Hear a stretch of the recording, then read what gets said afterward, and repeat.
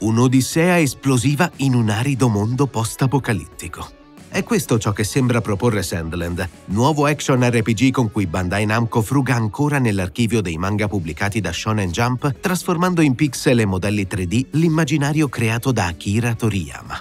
Durante la Summer Game Fest di Los Angeles noi abbiamo avuto l'opportunità di provarlo e di fare anche quattro chiacchiere con gli sviluppatori. Per contestualizzare le ambizioni del nuovo progetto di Bandai Namco è però necessario prima rispolverare le pagine dell'originale Sandland. Scritta e disegnata da Akira Toriyama, l'opera si distingue dalle più famose creature dell'autore di Dragon Ball e Dr. Slump per una narrazione immersa nella totale desolazione. La storia è infatti ambientata in una versione della Terra devastata da catastrofi ambientali, dove l'acqua è ridotta a una preziosa rarità.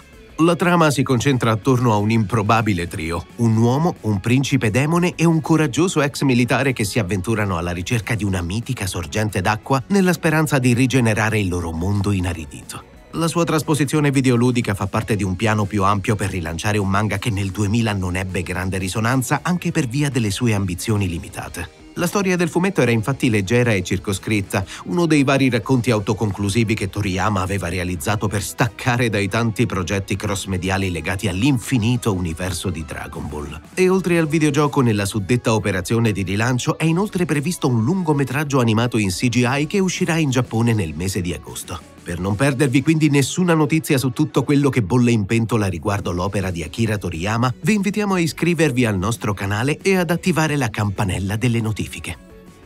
Sviluppato da Ilka, lo studio responsabile di One Piece Odyssey, il titolo ripercorrerà l'intera storia del manga originale con qualche aggiunta inedita utile per arricchire quello che altrimenti sarebbe un action RPG piuttosto povero di contenuti. Spazio quindi a nuove missioni principali e secondarie, dialoghi coi personaggi, creature da combattere e veicoli da guidare. Stando alle parole degli sviluppatori concentrandosi sulla sola storia, sarà possibile arrivare ai titoli di coda in 30-40 ore, una quantità comunque destinata a salire se il giocatore deciderà di cercare tutti i segreti e di dedicarsi alle missioni secondarie. Per tutto il viaggio verso la fonte leggendaria sarà possibile controllare unicamente il protagonista Beelzebub, principe dei demoni dall'aspetto malefico ma dal cuore d'oro.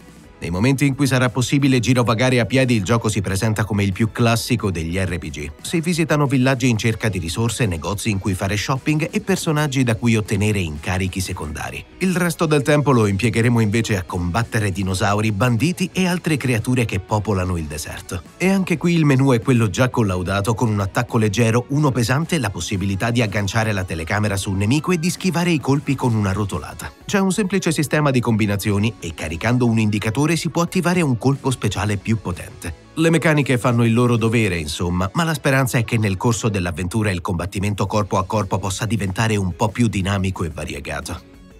In linea con il manga, la seconda anima dell'esperienza è invece alla guida dei veicoli. L'importante però è non affezionarsi troppo a nessuno di questi perché capiterà di cambiarli spesso.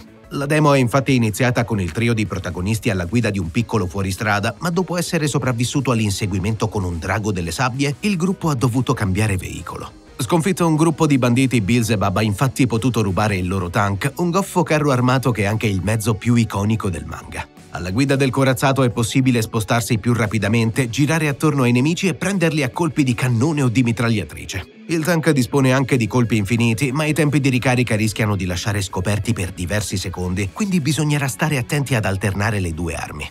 Gli sviluppatori non hanno voluto concedere troppe anticipazioni sui veicoli che saranno presenti nel gioco, ma promettono una buona varietà con diverse aggiunte e mezzi anche fuori di testa. Resta da vedere se i diversi veicoli saranno caratterizzati abbastanza da spingere il giocatore a provarli tutti, mentre è lecito aspettarsi scontri con boss che richiederanno di alternare momenti a piedi e sequenze alla guida. Probabilmente non sarà né il sistema di combattimento né l'esplorazione del mondo a distinguere Sandland nel panorama dei tie-in basati sui manga. Per quello ci penseranno l'umorismo leggero tipico di Toriyama e il caratteristico stile dei personaggi, che secondo il team di sviluppo è stato anche uno degli elementi più difficili su cui lavorare. Per lo studio infatti trasformare i disegni di Toriyama in modelli 3D è stata una grande sfida, ma ha rappresentato anche la parte più divertente della lavorazione, perché guidata dalla volontà di ottenere un risultato assolutamente fedele all'originale. Speriamo quindi di poter constatare presto la bontà del lavoro del team con la versione finale del gioco, purtroppo ancora senza una data di uscita, ma prevista su PC e console di ultima generazione. Secondo voi Sandland può davvero dire la sua nel mercato dei giochi di ruolo d'azione? Ma soprattutto, conoscevate già il manga da cui è tratto? Diteci la vostra nei commenti, mentre qui a fianco trovate dei video che potrebbero interessarvi. Alla prossima!